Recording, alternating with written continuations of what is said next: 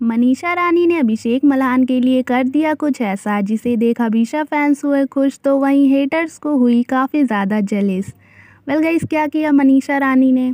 अभी जो रिसेंटली जो है कुछ नोटिस किया गया है मनीषा रानी एंड अभिषेक मल्हान की जो है प्रोफ़ाइल पिक्चर पर।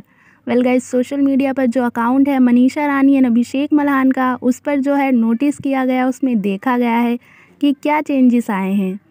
तो सबसे बड़ा जो चेंज आया है वो मनीषा रानी ने जो है अपनी डीपी चेंज की है।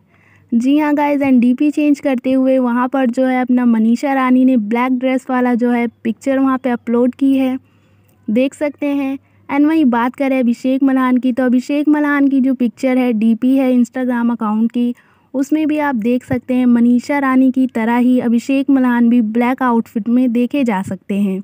दोनों की सोशल मीडिया अकाउंट की डीपी हैं, वो जो है ट्विनिंग कर रही हैं, ब्लैक आउटफिट है, दोनों का सेम कलर है। एंड ये देखकर तो अभिषा फैंस काफ़ी ज़्यादा खुश हैं कि दोनों जो है ट्विनिंग कर रहे हैं। तो वहीं कुछ लोग तो काफ़ी ज़्यादा जल भी रहे हैं ये देखकर, क्योंकि वो अभिषा हेटर्स हैं। तो आपको कैसा लगा कमेंट करके ज़रूर बताइएगा। चैनल पे नए हैं तो चैनल को सब्सक्राइब कर लीजिए।